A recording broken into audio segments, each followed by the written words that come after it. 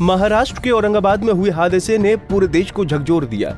Railway track के सहारे चलकर अपने घर जा रहे सोलह मजदूरों को मालगाड़ी ने रौंद दिया। लेकिन इस हादसे के बाद भी देश के दूसरे हिस्सों में अपनी मौत की परवाह किए बिना प्रवासी मजदूर रेलवे ट्रैक के सहारे चलने को मजबूर हैं। ये तस्वीरें दिल्ली से महज 60 किलोमीटर दूर हापुड़ की हैं, जहाँ इस मजदूर परिवार को हरियाणा से उत्तराखंड के रुद्रपुर जाना है। परिवार के पास न तो खाने के लिए पैसे हैं न जाने के लिए कोई साधन। लेकिन ये लोग चार दिन से लगातार पैदल ही चल रहे हैं।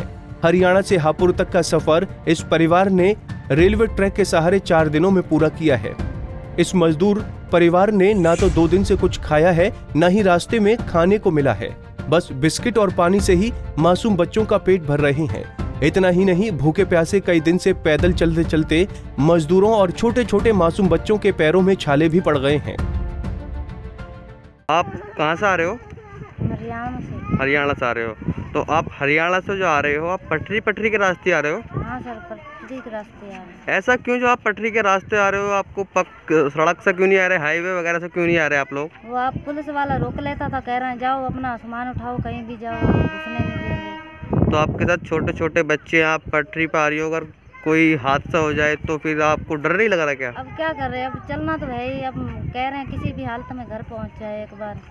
घर पहुँच जाए। तो खाना कितने दिन से नहीं मिला आपको? तीन दिन से नहीं मिला। रेलवे ट्रैक पर चलकर घर जा रहे लोगों का कहना है कि सड़क से पुलिस नहीं जाने दी जिसकी वजह से वो रेलवे लाइन पर चलकर ही घर जा रहे हैं। वहीं रेलवे कर्मचारियों ने बताया कि मना करने के बाद भी लोग रेलवे लाइन से जा रहे हैं जिसे उनकी जान को खतरा है क्योंकि इस लाइन पर लगातार मालगाड़ी चल रही है। मैं चमरी फाटक पे ड्यूटी करता हूँ। और इस लाइन पे मजदूर चल रहे हैं, काफ़ी दूर से आ रहे हैं और काफ़ी दूर जाना है, बिहार का, झारखंड का।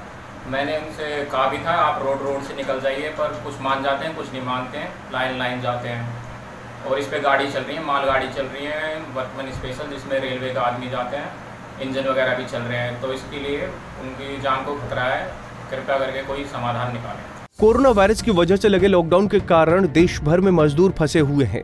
लॉकडाउन में काम नहीं मिलने की वजह से उन्होंने काफ़ी परेशानी का सामना करना पड़ रहा है।